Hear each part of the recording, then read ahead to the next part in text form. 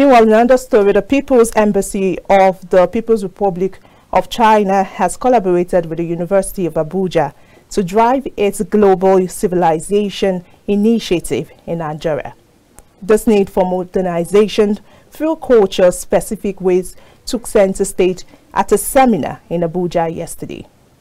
Scholars and professors from the university gave lectures on the lessons to be learned from China and how Nigeria could implement similar strategies. Well, here's more on this report. In March 2023, Chinese President Xi Jinping introduced Global Civilization Initiative at the CPC, the Communist Party of China, in dialogue with world political parties at a high-level meeting. To shed more light on the initiative, a seminar in collaboration with the Embassy of the People's Republic of China and the University of Abuja was held on Tuesday. Speaking to journalists at the event, the Chinese ambassador to Nigerian Cui Jianchun expressed China's drive for global modernization. We think that a cultural exchange, and especially mutual learning, can help us to find a way to do good things for the development of the two nations. For example, here, China, you know, we cherish the value of harmony. Nigeria also, you are multiple ethnic groups here. So we believe harmony, symphony, symphony, harmony. And especially here today, we are talking about civilization.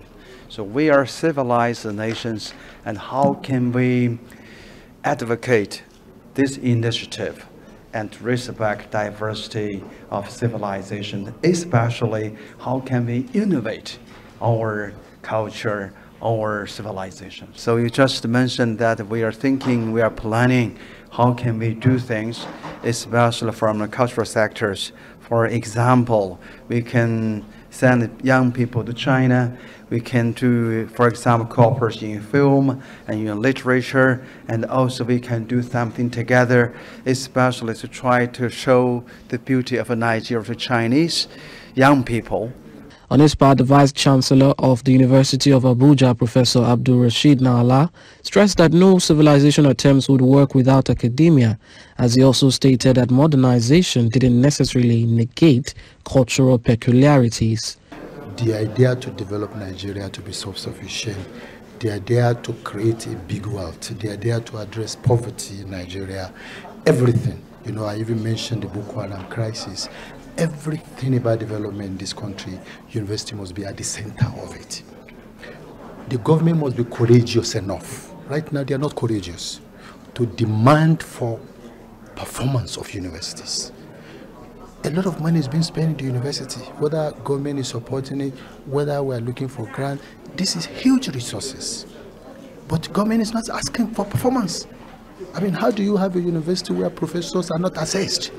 They are the highest paid people in the university system. Nobody assessing them. Some people will not even teach. Some people may not do research. Some people may not do something. It's a total waste. And our government has no courage to demand, if we really means to develop, like the Chinese decide to develop, and they demanded from universities that they must be world-class standard, they must produce, they must show results, must, and I will use the word must. Why can't we develop alongside of our traditions, our kingdoms, our way of life? Now our, our, our, our emirs, our kings, our chiefs, we render them useless. We think we are doing modernization, but where power belongs, in the true sense of African tradition, we render them useless. In his lecture, the president of the Society of Nigerian Artists, Mohammed Sulaiman, expressed the need for identity in modernization besides the agricultural modernization and industrialization that they're bringing in, please, I think it is time that Nigeria supports the ideas of understanding and champion the ideas of this campaign so that if you have a people that are 1.4 billion and you put your 200 million to, like the ambassador was say at most times, that is a 1.6 point billion, say, man force. There is no continent, I mean, there is no nation in the world that can actually challenge that. It's got technology, it's got military capacity, it's got everything for it to grow. The GCI, amongst other initiatives, is expected to further strengthen the traditional friendship, build better relationship and promote cultural exchanges and understanding between China and Nigeria.